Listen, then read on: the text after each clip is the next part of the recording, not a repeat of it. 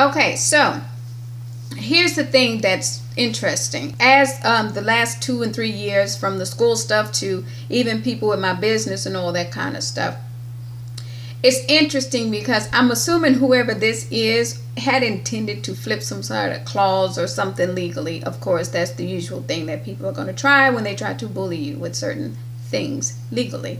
Now, as you can see from pictures and from videos, I look young. So people assume that I am naive. So when they get called to the carpet, like, um, I'm so sorry, you do realize that's completely illegal no matter how you try to flip it.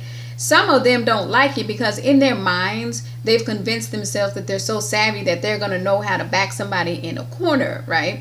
And so when I talk about having all this stuff coming at me sideways two and three years, that's very real. So understanding when I talk about God prepping me, like, all right, you're gonna have some people try to own you, try to throw you off course and all that kind of thing. I was already prepared for all this stuff. And so now me putting the videos out, here's what's happening. In each area and in each expertise field, whatever you want to call it, from lawyers to musicians to doctors to even people that do readings, Uh, counselors, you're always going to have the more ethical ones that know how to have each other's back because of the fact that we care enough in whatever field that is to say, no, you're not going to do that. So, whoever this guy is, right, when somebody called him to the carpet about acting like a kid, literally, when I pray and ask for guidance on how to handle things, understanding that I was going to have people throwing a whole lot of hurdles in my way because don't forget, I've already had people try to have me sign disclaimers when we tried to do little partnerships or all that kind of stuff.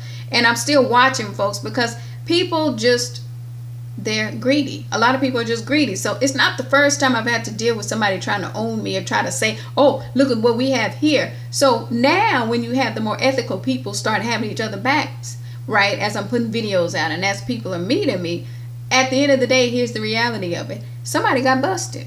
There is a man who, in the dream, very sure, clearly I was shown, had this piece of paper. I had the rights to da da da da da.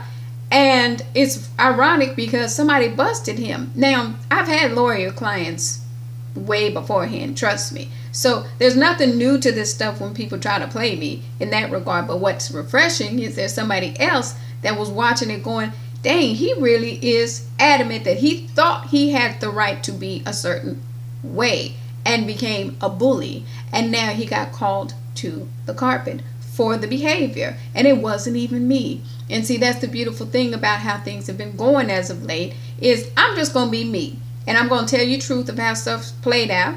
I can even own my role in certain situations. But no, if you see me stagnate or be stagnant, it is because I'm biding my time for whomever, which we assume is now busted by the person, like you don't have the right to do this towards her or to her. Stop. Because that's really what the dream was. It was very much so a situation where, like, no, you're to stop. What made you think you had the right to do that?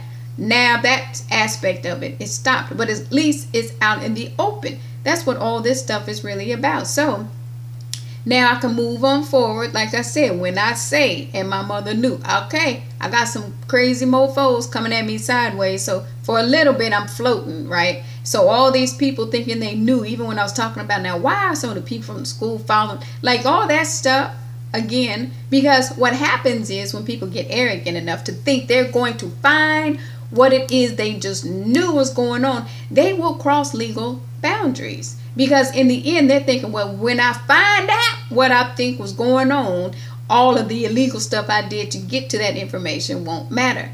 But the information was never found. So now you just had somebody obviously crossing legal boundaries, and finally they got back in that corner like, what think? What did you think? What were you reading? What did you even conjure up in your head to make you think you had the right to do that? And now finally said was told more like a grown kid than anything. He hated to be told that, but it was the truth. You guys take care.